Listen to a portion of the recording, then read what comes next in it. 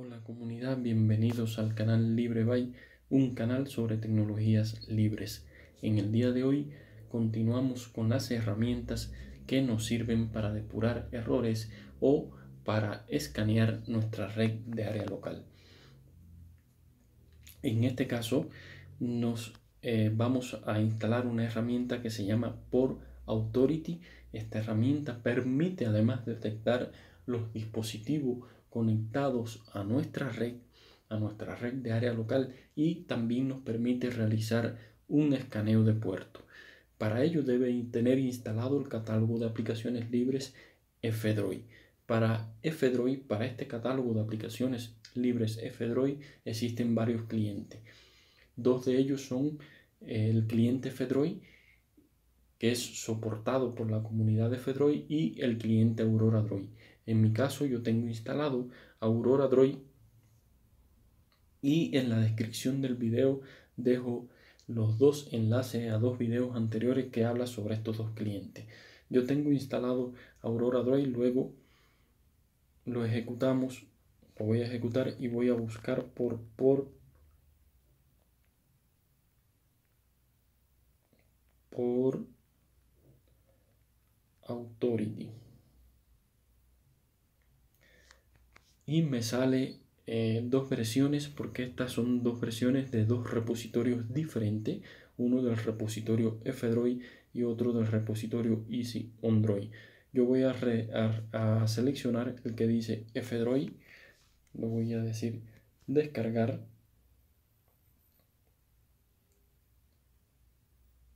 y lo voy a instalar.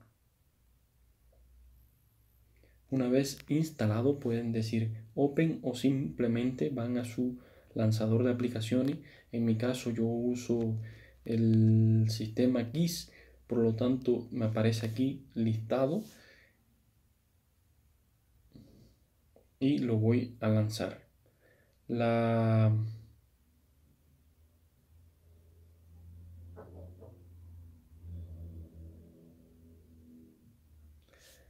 me sale, lo lanzo y me sale esta información aquí, le digo ok, no hay ningún problema.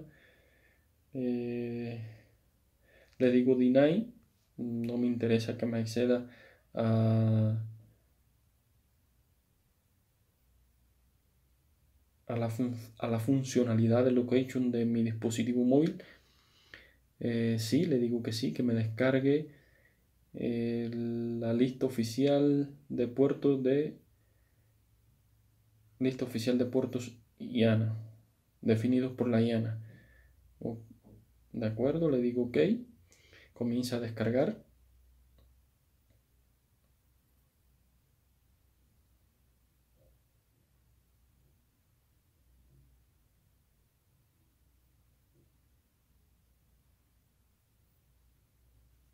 Le digo que sí, perfecto, no hay ningún problema.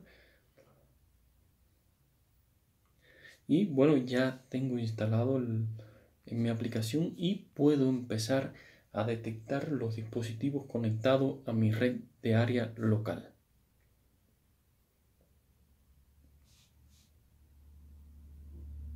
Incluso como pueden observar,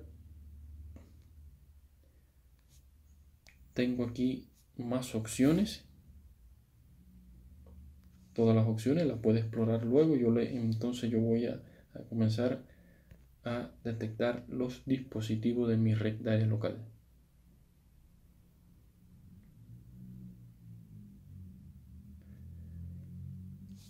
Y estos son los dispositivos que están actualmente conectados a mi red de área local. Yo en, la, en la, dirección IP eh, 192.168.100.1 está el router en la 192.168.100.8 está mi PC de escritorio. Yo voy a seleccionar esta y puedo hacer, eh, tengo tres opciones. Una que es para escanear los puertos conocidos, o mejor dicho, los puertos, eh, sí, conocidos, o digamos los puertos menores a 1024.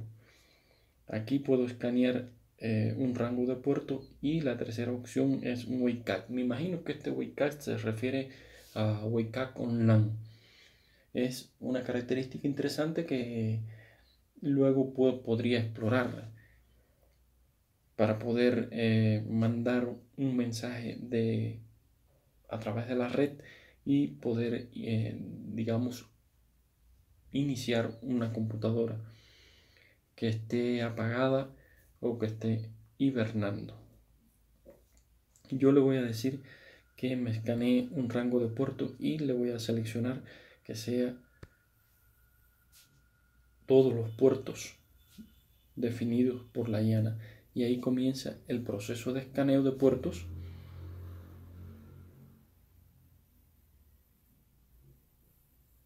Me gusta la interfaz me gusta la interfaz de por Authority y funciona muy bien. Yo diría que, funciona mejor que NIM que fue la herramienta que vimos en el video de ayer.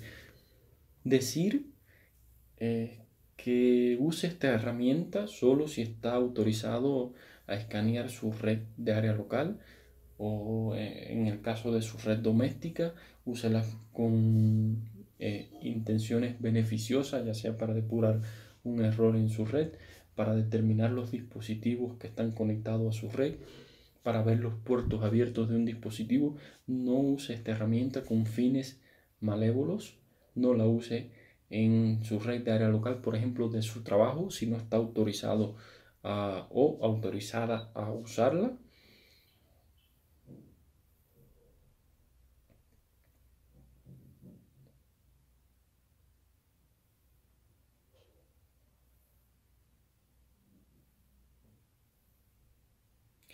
Como pueden observar, entonces estos son todos los, puertos abiertos de mi PC de escritorio. Como pueden observar, tengo varios servicios ejecutándose.